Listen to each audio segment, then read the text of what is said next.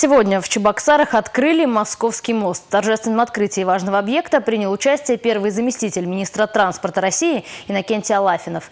Подробнее в репортаже Татьяны Леонтьевой. Этого события жители Чебоксар ждали три года. Столько заняла масштабная реконструкция Московского моста. Она проводилась в два этапа. Строители, по сути, возвели на месте старого сооружения новое. Общая сумма вложенных бюджетных средств 1 миллиард 568 миллионов рублей. Эти инвестиции наших молодых людей.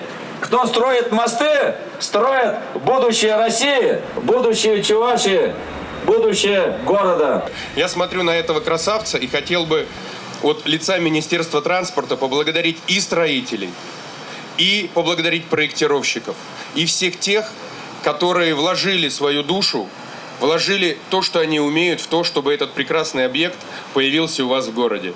В будущем году столица Чуваши отметит 550-летие. И новый мост, бесспорно, один из самых лучших подарков городу и его жителям.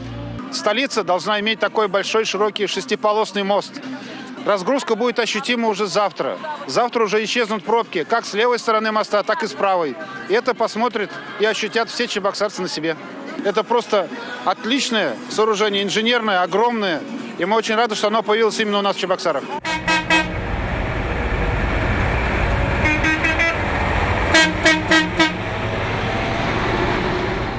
Честь первыми проехать по мосту выпала строителям. Автоколонна из самосвалов, бетоносмесителей, снегоуборщиков прошла ровными рядами.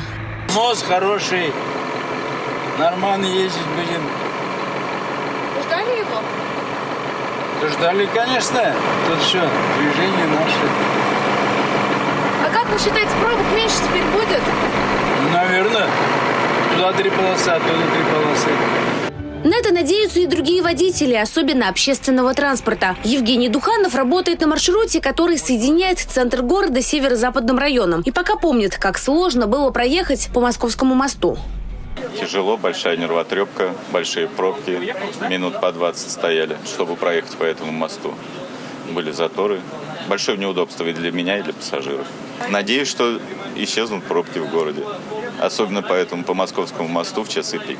Реконструкция ждет и другие столичные мосты. Первый на очереди – Сугутский. Его планируют отремонтировать в будущем году. Татьяна Леонтьева, Павел Редков. Республика.